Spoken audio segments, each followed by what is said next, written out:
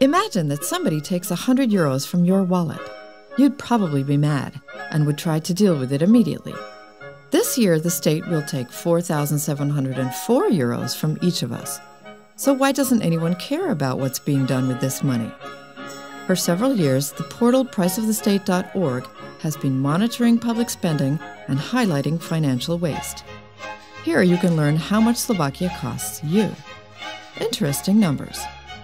However, people are more interested in scandals. That's why we created one. On the internet, we publish three commercials that talk about what people have to do to make Slovakia richer. This absurd campaign caught many people's attention. Over several days, it accumulated nearly 200,000 video views, thousands of ironic comments, and hundreds of tips for a richer Slovakia. People wanted to know if this nonsense is really paid for out of our taxes. The priceofthestate.org project gave them the answer.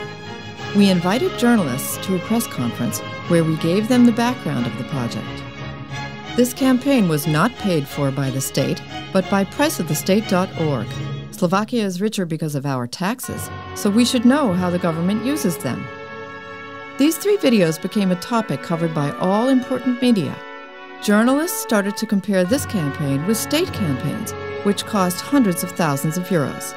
Our campaign cost only 5,340 euros, but the media coverage was worth more than 64,000. Through the campaign, we reached almost 1.2 million adults, and the priceofthestate.org portal achieved its highest traffic ever. Thanks to this campaign and the priceofthestate.org project, Slovakia is richer, at least in information.